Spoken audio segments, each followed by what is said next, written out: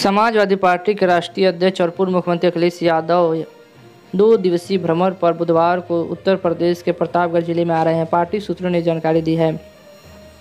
जिला अधिकारी कार्यालय ने जारी कार्यक्रम के अनुसार श्री यादव लखनऊ से चलकर आज साढ़े चार बजे का निर्माण विभाग प्रतापगढ़ पहुँचने और रात्रि विश्राम करेंगे और पाँच अक्टूबर को राजकीय इंटर कॉलेज के मैदान में आयोजित कार्यकर्ता परीक्षण शिविर को संबोधित करेंगे।